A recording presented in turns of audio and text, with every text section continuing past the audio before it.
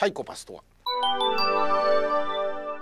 精神科医樺沢志音のカバチャンネル。今日は質問をいただいています。IE さん50歳女性。サイコパスの犯罪事件を知りサイコパスという人は私たちの周りに普通に暮らしているようで恐怖すら感じています。サイコパスの見分け方があるのでしょうか？ということでですね、まあ、サイコパスという言葉が最近テレビなどでも時々見受けられますしあるいはテレビドラマとかアニメとかにもサイコパスといったようなタイトルがついたものがあったりあるいは映画なんかの中でもサイコパスを主人公としたものがあったりとかですね。ここ最近ですねそういうサイコパスって言葉を聞くことが多くなってきたのかなということなんですけどこのサイコパスっていうのを正しく理解できている人っていうのはおそらく非常に少ないんじゃないかなと。私自身も今まで直接患者さんというかそういうので見たケースとしては20年以上前に1人だけ見たことがありますけども、まあ、1人ぐらいしか見たことがないなと、まあ、実際に病院にそういう方が来るということも非常にね少ないんですけどといったことでなかなかこうサイコパスといった場合ですねなんかテレビとか何かでなんかおっかないとか犯罪者とかそういうイメージが先行している部分があるので、まあ、どういうものがサイコパスという人たちなのかってことをねちょっと考えてみたいなと思うんですね。私がこれをちょっと取り上げようと思ったのは先日映画「ゆり心」っていうのを見たんですけど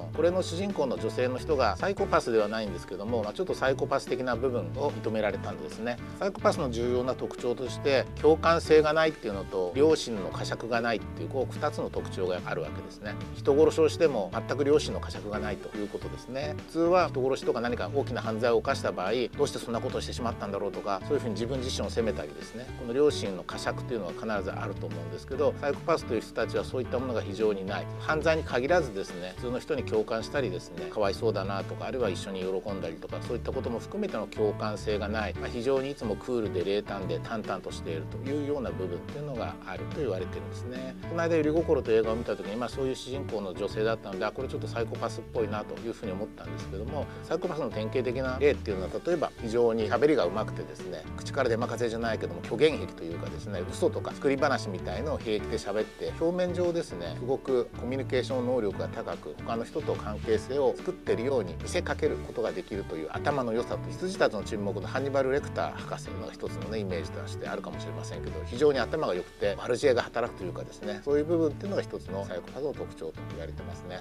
まあ、ゆり心の映画の主人公はですねまあそういう部分はないのであくまでもサイコパス的という形になるんですけどもサイコパスって犯罪を犯してもですねそういったものに対して両親の呵責がないためにそういう犯罪などを起こしやすいというふうに言われていますあるいはサイコパスイコールほぼ犯罪者というイメージで捉えてるかもしれませんけど、まあ、大体サイコパスの割合と調べた研究があるんですけど大体全人口の1%と言われてるんですね1%って100人に1人ってことになりますね。ですから皆さんのお友達の中にも必ず1人以上はいるという形になります。あるいは欧米の調査では25人に1人そういった数字を出しているものもあったりします。割合としてはですね私たちの周りに非常にたくさんいるということですよね。サイコパスの見分け方があるんですかという話なんですけどサイコパスのイメージというのを正しく持っていると見分けれないこともないとは思うんですけど先ほど言ったようにサイコパスというのはそれを偽装するのが非常にうまいので多分なかなか難しいというのが現実ではないでしょうか。もしそういったものに巻き込まれたくないというのであればサイコパスのイメージを持つっていうことは一つあると思うんですけど私が見た中ではですね「悪の経典」っていう映画があるんですね、まあ、小説の映画化でありますけど